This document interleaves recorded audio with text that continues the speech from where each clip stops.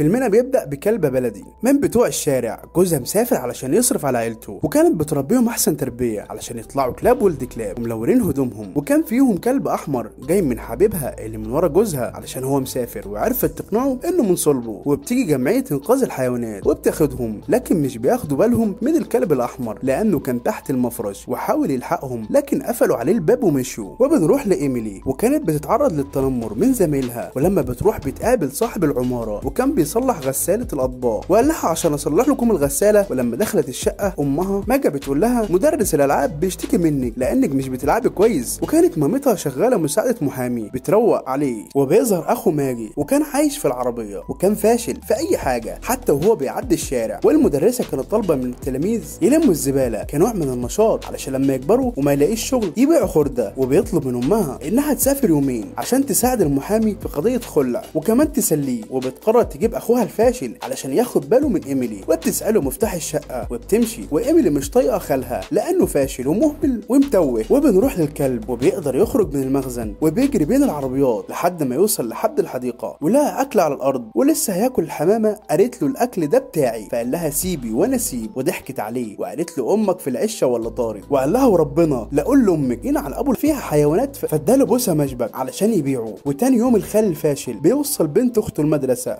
فبيلاقوا خيمه إنقاذ الحيوانات الضالة وبتطلب من خالها يدخلوا ويتفرجوا وفعلا بيوافق. وهو داخل لقى القرد بيقول له يا عبيط وبيتفرجوا على الحيوانات وبيقابلوا السيد وبيلاقوا بريادور وبيفرجهم على كلب أحمر. فبتقول لخالها إنها عايزة تشتريه وبيعترض لأنه لما يكبر هيكسر لنا البيت. وفي المدرسة تتعرف على زميلها إيوان. بس المشكلة إن فلاور ما زالت تتنمر عليها لدرجة إنها كرهت المدرسة بسببها. ولما بتكون في البيت بتلاقي صوت طالع من شنطتها وبتتفاجئ إن الكلب في شنطتها. من غير ما تعرف دخل شنطتها إزاي وبتقرر إنها تربيه. من غير ما تعرف خالها وسمته كليفورد. وقعد يعض في شبشبها. وقالت له لا ده ده شبشب الكابانيه وهرب منها. وطلع لخالها. وأول ما شافه نبه لأميلي واتحايلت عليه علشان يبات معاها. ليله وتاني يوم هتوديه لصاحبه. وبتلاقي فلاور صاحبتها بعت لها رسالة علشان تضايقها. وبتفضل تعيط. والسيد بريادور طلع هو اللي حاطط لها الكلب في الشنطة. وتاني يوم بتلاقي الكلب بقى ضخم. وبيفضل يلعب معاها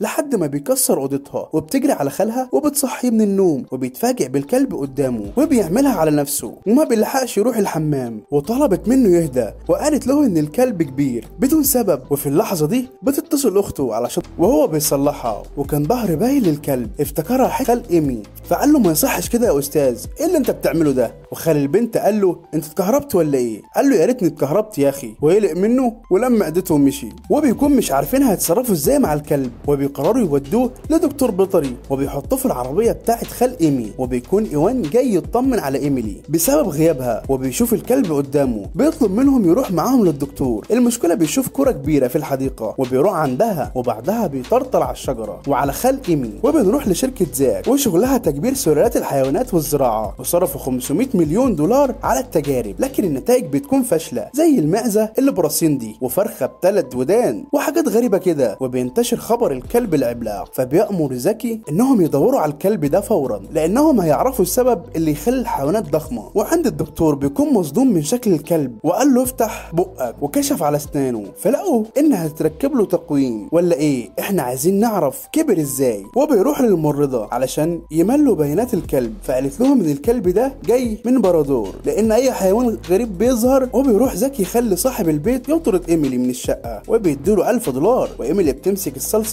وبترشها بدون ما تقصد على زميلتها اللي بتكرهها وبيجي الكلب والكلب بيهطل عليها. وبتعيط وبتمشي والست دي بتخلي جوزها يظبط الطبق وتفضل تشغله وبيكون هيقع والكلب بيمسكه من الحتة اللي ورا. وبينقذه والناس بتحيي الكلب وبيجي زكي علشان ياخد الكلب منهم. وإيميلي مش بتوافق والناس بتهرب الكلب ويعدي من المتجر الناحية التانية وحالها. والناس بيضربوا الحراس بالألعاب الزيتون والجبنة واللانشون وإيميلي بتهرب الكلب وبتكون ما تعرفش تسوق. وبترجع لورا بدل ما تطلع قدام والحراس بيطردوهم وبيدخلوا جراج. وأم إيميلي بتتصل بيها المديرة في المدرسة وبتقول ليها على اللي بتعمله بنتها هي والكلب بتاعها. وبيجي خال إيميلي بيقول لصاحب إيميلي معاك البيت ده؟ وبتخلينا ندور على مكان وبتتصل. وبتخلي خالها يكمل. وبيجي كلب صغير يعمل حاجات مراهقين وإيميلي وبتقرب الكلب الصغير الذكر ناحية الكلبة لكن بتكون الكلبة عملاقة عليه.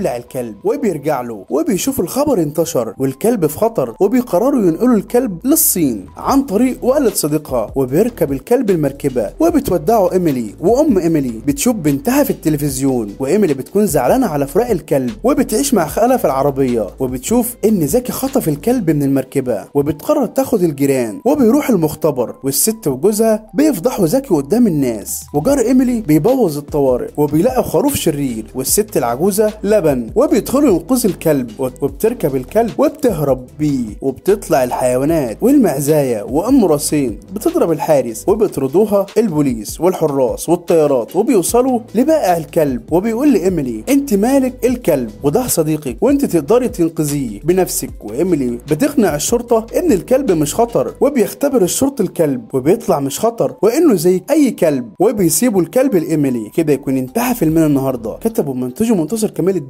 اعداد التقديم. عمر عبد العزيز. سلام.